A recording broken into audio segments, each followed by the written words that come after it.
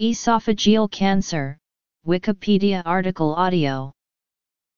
Esophageal cancer is cancer arising from the esophagus the food pipe that runs between the throat and the stomach. Symptoms often include difficulty in swallowing and weight loss. Other symptoms may include pain when swallowing, a hoarse voice, enlarged lymph nodes around the collarbone, a dry cough, and possibly coughing up or vomiting blood. Signs and symptoms. Causes. Squamous cell carcinoma. Adenocarcinoma. Related conditions. Diagnosis. Clinical evaluation. Types. Staging. Prevention Screening Management Surgery Chemotherapy and radiotherapy. Other approaches. Follow-up. Prognosis. Epidemiology. USA UK Society and Culture. Notable cases Research directions The two main subtypes of the disease are esophageal squamous cell carcinoma, which is more common in the developing world, and esophageal adenocarcinoma, which is more common in the developed world. A number of less common types also occur. Squamous cell carcinoma arises from the epithelial cells that line the esophagus. Adenocarcinoma arises from glandular cells present in the lower third of the esophagus, often where they have already transformed to intestinal cell type. Causes of the squamous cell type include tobacco, alcohol, very hot drinks, poor diet, and chewing betel nut. The most common causes of the adenocarcinoma type are smoking tobacco, obesity, and acid reflux. The disease is diagnosed by biopsy done by an endoscope. Prevention includes stopping smoking and eating a healthy diet. Treatment is based on the cancer's stage and location, together with the person's general condition and individual preferences. Small localized squamous cell cancers may be treated with surgery alone with the hope of a cure. In most other cases, chemotherapy with or without radiation therapy is used along with surgery. Larger tumors may have their growth slowed with chemotherapy and radiation therapy. In the presence of extensive disease or if the affected person is not fit enough to undergo surgery, palliative care is often recommended. As of 2012, esophageal cancer was the eighth most common cancer globally with 456,000 new cases during the year. It caused about 400,000 deaths that year, up from 345,000 in 1990. Rates vary widely among countries, with about half of all cases occurring in China.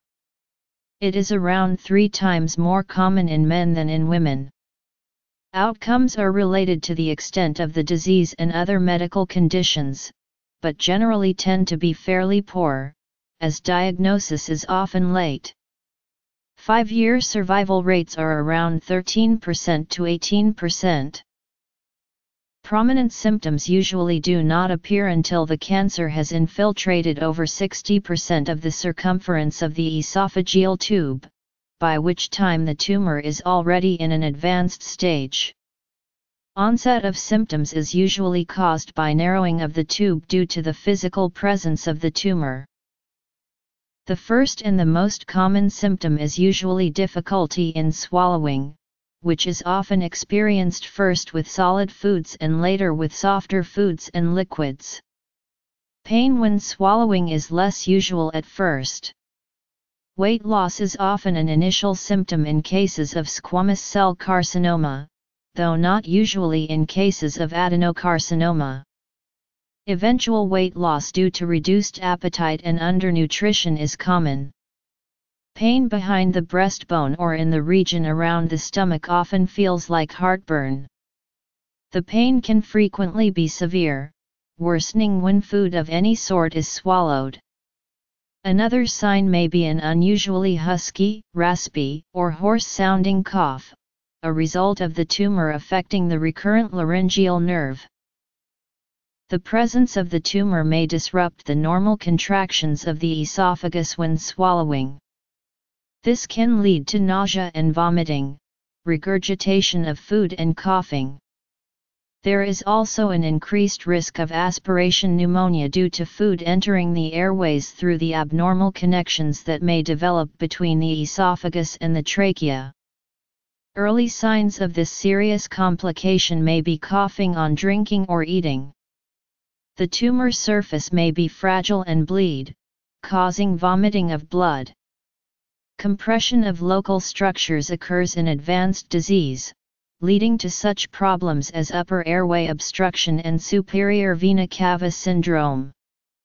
Hypercalcemia may occur.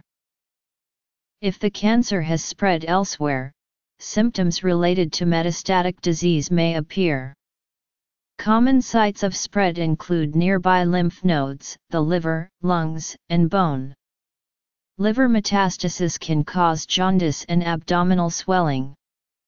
Lung metastasis can cause, among other symptoms, impaired breathing due to excess fluid around the lungs, and dyspnea. The two main types have distinct sets of risk factors. Squamous cell carcinoma is linked to lifestyle factors such as smoking and alcohol. Adenocarcinoma has been linked to effects of long-term acid reflux. Tobacco is a risk factor for both types. Both types are more common in people over 60 years of age. The two major risk factors for esophageal squamous cell carcinoma are tobacco and alcohol. The combination of tobacco and alcohol has a strong synergistic effect.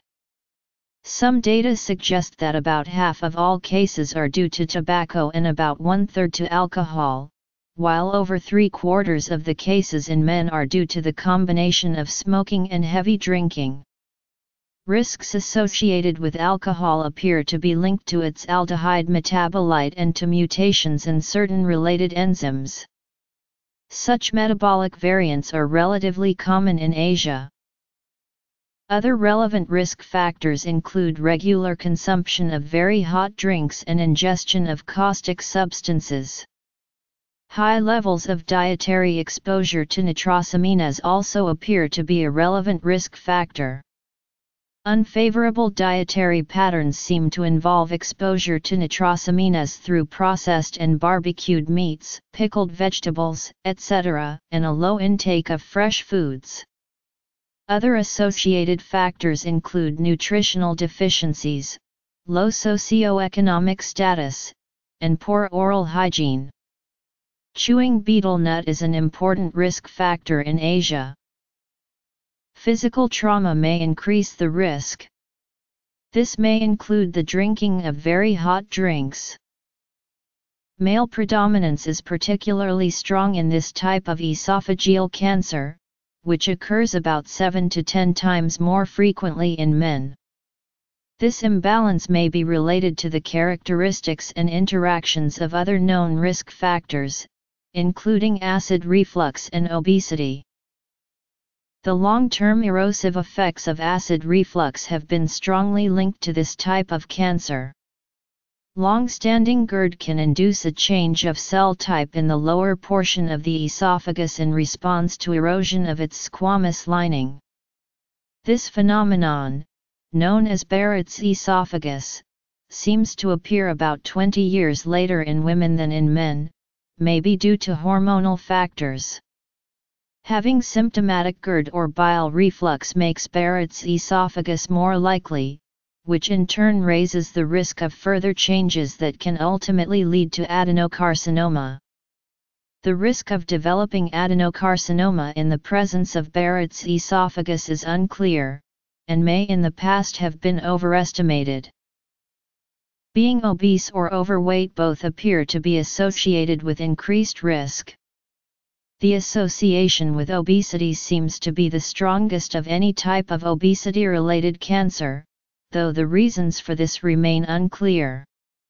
Abdominal obesity seems to be of particular relevance, given the closeness of its association with this type of cancer, as well as with both GERD and Barrett's esophagus. This type of obesity is characteristic of men. Physiologically, it stimulates GERD and also has other chronic inflammatory effects.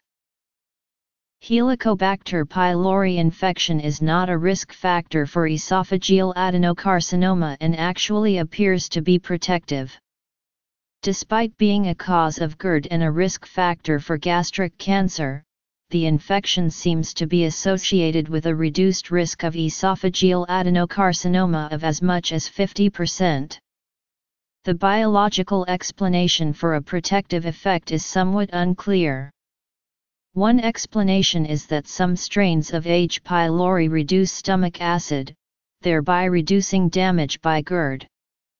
Decreasing rates of H. pylori infection in Western populations over recent decades, which have been linked to better hygiene and increased refrigeration of food, could be a factor in the concurrent increase in esophageal adenocarcinoma. Female hormones may also have a protective effect, as EAC is not only much less common in women but develops later in life, by an average of 20 years. Although studies of many reproductive factors have not produced a clear picture, risk seems to decline for the mother in line with prolonged periods of breastfeeding. Tobacco smoking increases risk, but the effect in esophageal adenocarcinoma is slight compared to that in squamous cell carcinoma, and alcohol has not been demonstrated to be a cause. Although an occlusive tumor may be suspected on a barium swallow or barium meal, the diagnosis is best made with an examination using an endoscope. This involves the passing of a flexible tube with a light and camera down the esophagus and examining the wall, and is called an esophagogastroduodenoscopy. Biopsies taken of suspicious lesions are then examined histologically for signs of malignancy. Additional testing is needed to assess how much the cancer has spread. Computed tomography of the chest, abdomen, and pelvis can evaluate whether the cancer has spread to adjacent tissues or distant organs. The sensitivity of a CT scan is limited by its ability to detect masses generally larger than 1 cm. Positron emission tomography is also used to estimate the extent of the disease and is regarded as more precise than CT alone. Esophageal endoscopic ultrasound can provide staging information regarding the level of tumor invasion, and possible spread to regional lymph nodes. The location of the tumor is generally measured by the distance from the teeth. The esophagus is commonly divided into three parts for purposes of determining the location. Adenocarcinomas tend to occur near the stomach and squamous cell carcinomas near the throat, but either may arise anywhere in the esophagus. Endoscopic image of Barrett esophagus a frequent precursor of esophageal adenocarcinoma.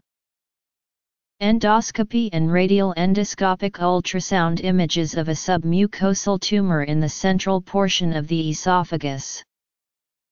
Contrast CT scan showing an esophageal tumor. Contrast CT scan showing an esophageal tumor. Esophageal cancer. Micrograph showing histopathological appearance of an esophageal adenocarcinoma and normal squamous epithelium at H&E staining. Esophageal cancers are typically carcinomas that arise from the epithelium, or surface lining, of the esophagus.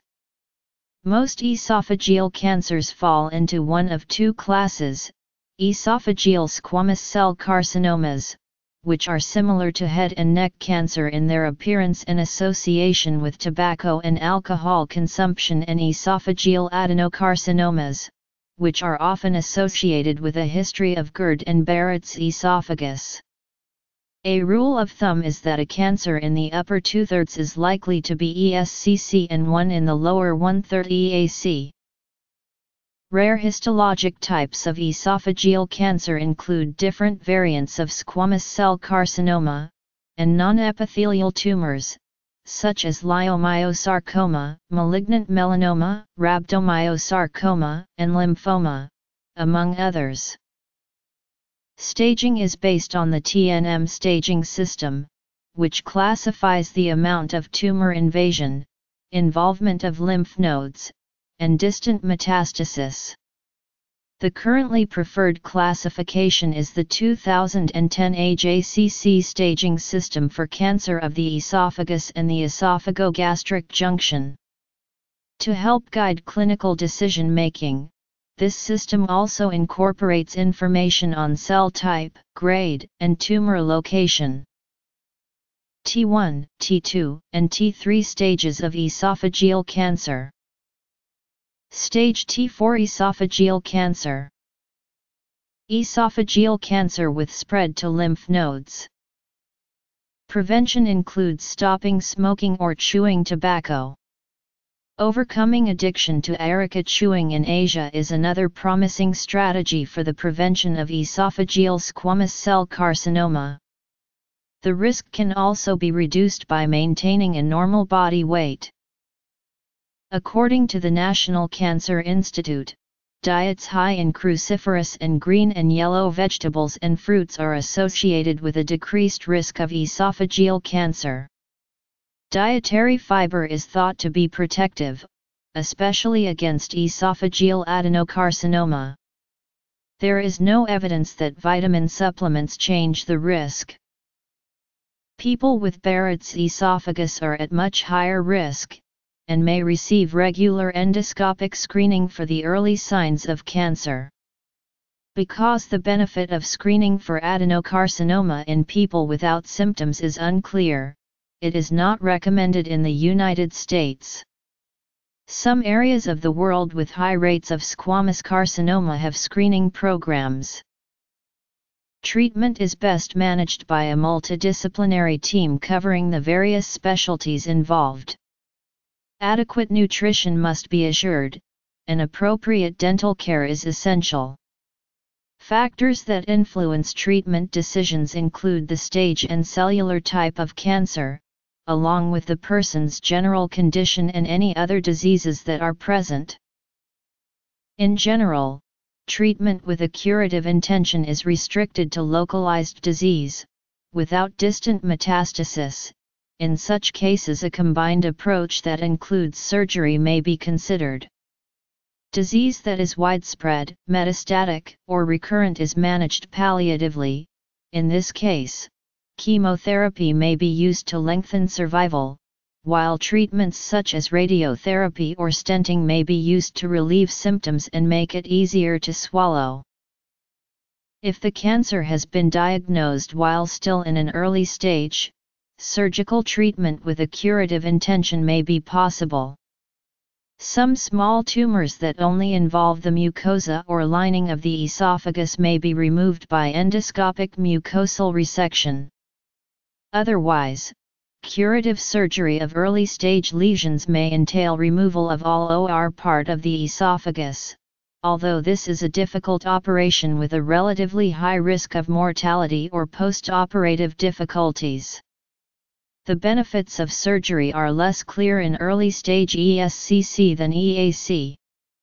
There are a number of surgical options, and the best choices for particular situations remain the subject of research and discussion.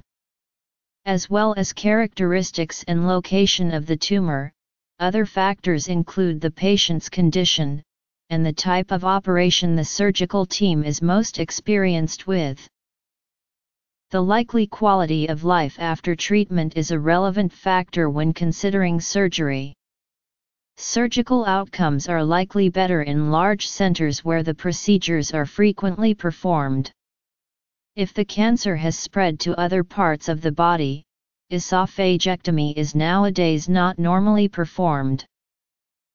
Esophagectomy is the removal of a segment of the esophagus, as this shortens the length of the remaining esophagus. Some other segment of the digestive tract is pulled up through the chest cavity and interposed. This is usually the stomach or part of the large intestine or jejunum. Reconnection of the stomach to a shortened esophagus is called an esophagogastric anastomosis. Esophagectomy can be performed using several methods. The choice of the surgical approach depends on the characteristics and location of the tumor, and the preference of the surgeon. Clear evidence from clinical trials for which approaches give the best outcomes in different circumstances is lacking. A first decision, regarding the point of entry, is between a transhiatal and a transthoracic procedure. The more recent transhiatal approach avoids the need to open the chest, instead the surgeon enters the body through an incision in the lower abdomen and another in the neck. The lower part of the esophagus is freed from the surrounding tissues and cut away as necessary. The stomach is then pushed through the esophageal hiatus and is joined to the remaining upper part of the esophagus at the neck. The traditional transthoracic approach enters the body through the chest, and has a number of variations.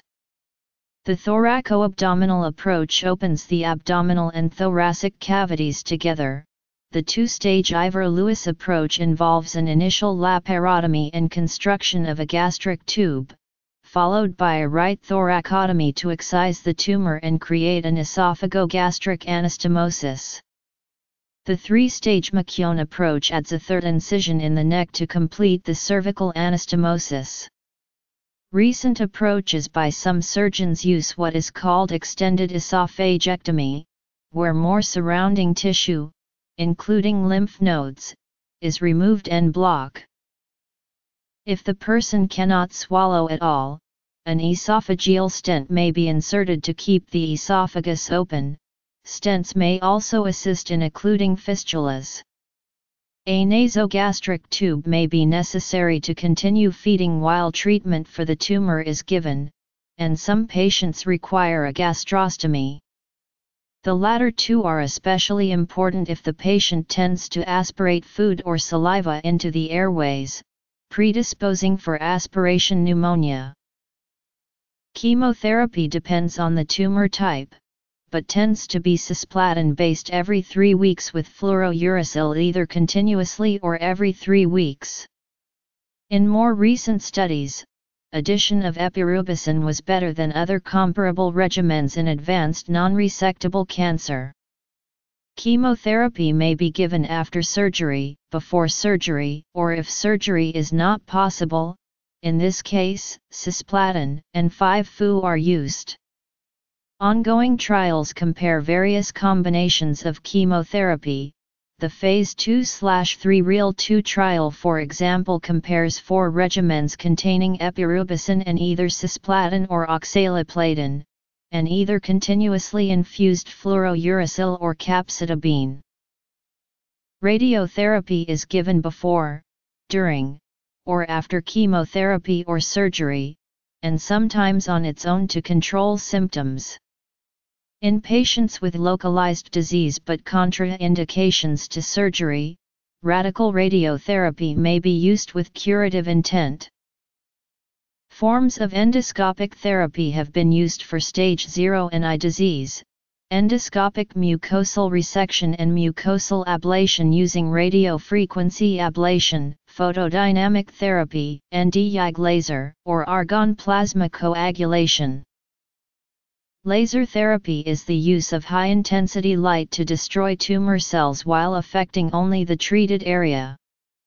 This is typically done if the cancer cannot be removed by surgery. The relief of a blockage can help with pain and difficulty swallowing. Photodynamic therapy, a type of laser therapy, involves the use of drugs that are absorbed by cancer cells, when exposed to a special light, the drugs become active and destroy the cancer cells. Internal radiotherapy for esophageal cancer. Self-expandable metallic stents are sometimes used for palliative care. Patients are followed closely after a treatment regimen has been completed. Frequently, other treatments are used to improve symptoms and maximize nutrition. In general, the prognosis of esophageal cancer is quite poor, because most patients present with advanced disease. By the time the first symptoms appear, the disease has already progressed. The overall five-year survival rate in the United States is around 15%, with most people dying within the first year of diagnosis. The latest survival data for England and Wales show that only 1 in 10 people survive esophageal cancer for at least 10 years. Individualized prognosis depends largely on stage. Those with cancer restricted entirely to the esophageal mucosa have about an 80% 5YSR, but submucosal involvement brings this down to less than 50%.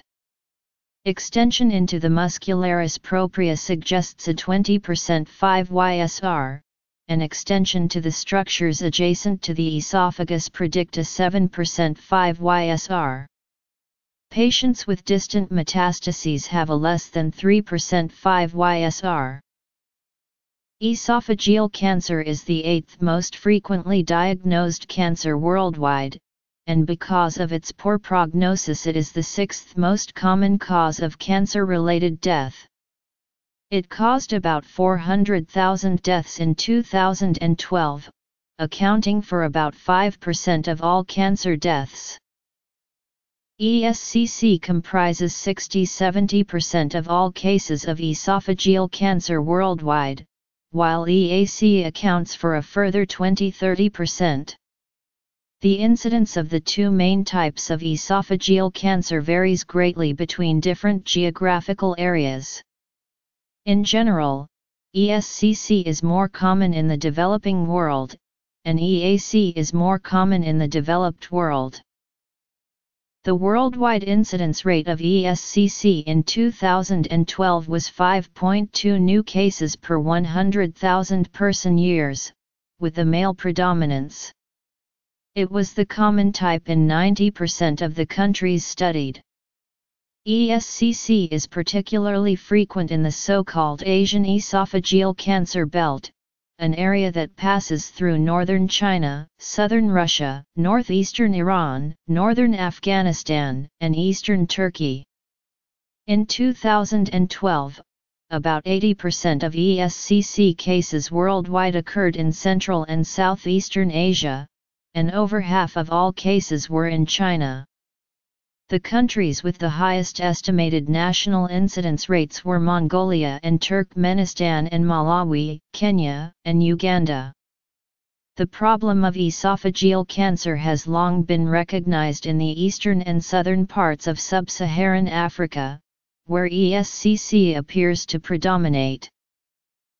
In Western countries, EAC has become the dominant form of the disease, following an increase in incidence over recent decades.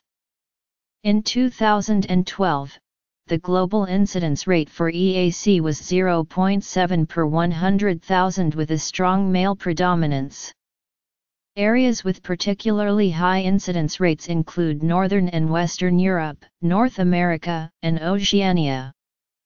The countries with highest recorded rates were the UK, Netherlands, Ireland, Iceland, and New Zealand. In the United States, esophageal cancer is the seventh leading cause of cancer death among males. The National Cancer Institute estimated there were about 18,000 new cases and more than 15,000 deaths from esophageal cancer in 2013. The squamous cell carcinoma type is more common among African American males with a history of heavy smoking or alcohol use. Until the 1970s, squamous cell carcinoma accounted for the vast majority of esophageal cancers in the United States. In recent decades, incidence of adenocarcinoma of the esophagus steadily rose in the United States to the point that it has now surpassed squamous cell carcinoma. In contrast to squamous cell carcinoma, esophageal adenocarcinoma is more common in Caucasian men than it is in African Americans. Multiple reports indicate esophageal adenocarcinoma incidence has increased during the past 20 years, especially in non-Hispanic white men. Esophageal adenocarcinoma age-adjusted incidence increased in New Mexico from 1973 to 1997. This increase was found in non-Hispanic whites and Hispanics and became predominant in non-Hispanic whites. Esophageal cancer incidence and mortality rates for African Americans continue to be higher than the rate for Caucasians. However, incidence and mortality of esophageal cancer has significantly decreased among African Americans since the early 1980s, whereas with Caucasians it has continued to increase. Between 1975 and 2004, incidence of the adenocarcinoma type increased among white American males by over 460% and among white American females by 335%. The incidence of esophageal adenocarcinoma has risen considerably in the UK in recent decades. Overall, esophageal cancer is the 13th most common cancer in the UK, and it is the sixth most common cause of cancer death. Christopher Hitchens, an author who is well known for the book God is Not Great, also wrote about his life with esophageal cancer.